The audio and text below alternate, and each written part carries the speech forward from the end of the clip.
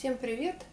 Сегодня я хочу написать такое э, видео и поговорить немножечко про маски.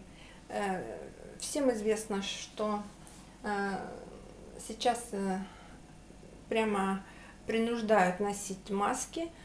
Ну, как бы говорят, что в общественных местах, где много народу, но на самом деле, в общем-то, могут придраться в любом месте и оштрафовать. В Эстонии штраф вроде бы 9600 евро, но я что-то вообще прямо не верю этому.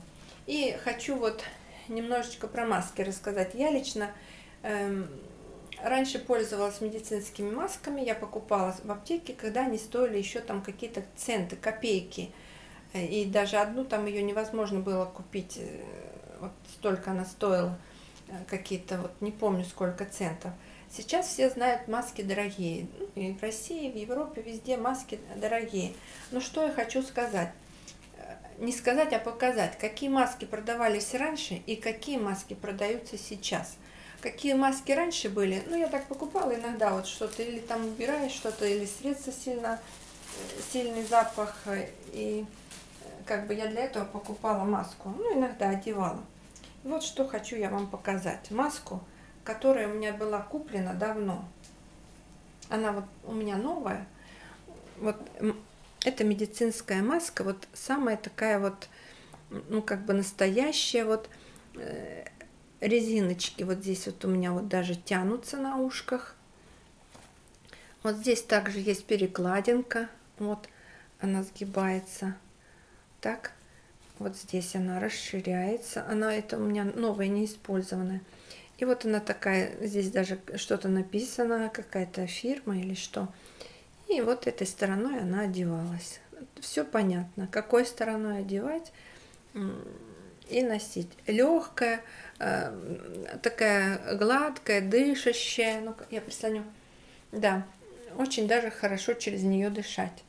Какие сейчас маски? Вот какие сейчас маски? Через ту я могла легко дышать. Вот какие сейчас маски я через такую маску не могу дышать. Это какие-то маски, э, как будто из портяночного материала. Из такого материала только делать портянки. Вот они вот такие. Они уже такие, вот такие маски, резиночки. И они такие постоянно все время разные. Вот по сравнению с этой, эта маска гладкая, а эти как будто ворсиночки. И вот я, например, когда ношу эту маску, у меня потом на лице такие появляются красные пятна и прямо чешутся, ну, как аллергия. И когда я в этой маске, у меня сразу начинает горло першить, прям хочется это сделать. Эм, и прямо и насморк кажется какой-то. Эм, вот, в общем, и вот эта маска старая, она мне как-то вот больше доверия внушает, и больше она в условиях, может, э, гигиеничных более сделана в условиях. А вот эти, как если смотреть по телевизору, как их делают, как их упаковывают, там шьют, и потом мы это прислоняем к лицу. Это, конечно, я думаю, что вредно. А сегодня я даже прочитала статью, что...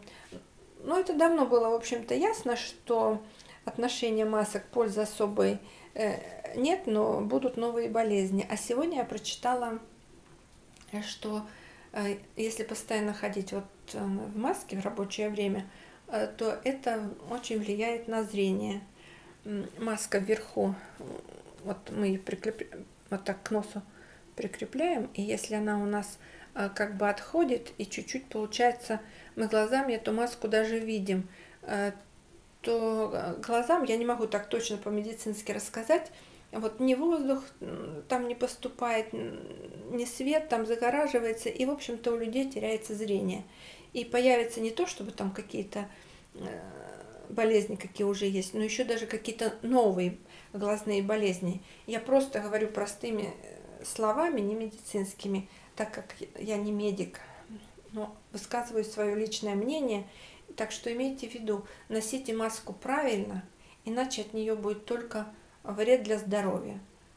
Желаю всем крепкого здоровья и чтобы закончилась побыстрее вот эта пандемия и вот этот бизнес на масках, вот их уже, наверное, теперь все шьют, шьют, а теперь еще из ткани шьют маски. Вот, это как бы новые бизнесы. Все. Всем пока-пока. Не теряйтесь. Тоже шейте и продавайте, если остались без работы. Все. Всем пока-пока.